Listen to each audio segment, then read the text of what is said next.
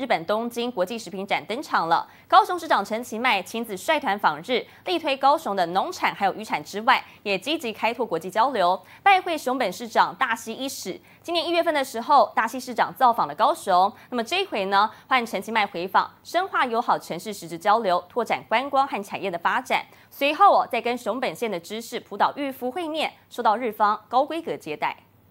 非常的欢迎来到。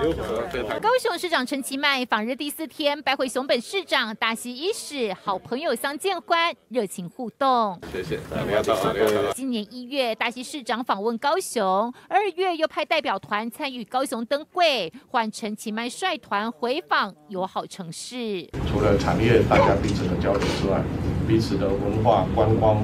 跟在教育的交流，其实也是非常的重要。高雄与熊本地盟六年多，首长互访，城市交流。此行陈其迈更精心准备伴手礼，表心意。